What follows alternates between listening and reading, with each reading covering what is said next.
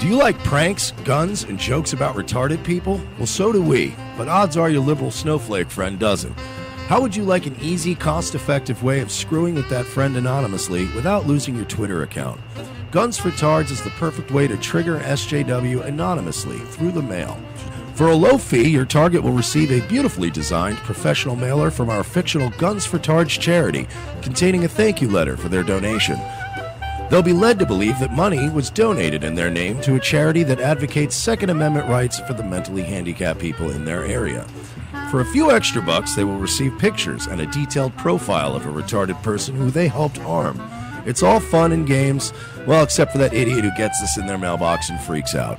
Messing with someone through the mail is effective. Most people do it trolling over the internet, but regular mail is way more invasive.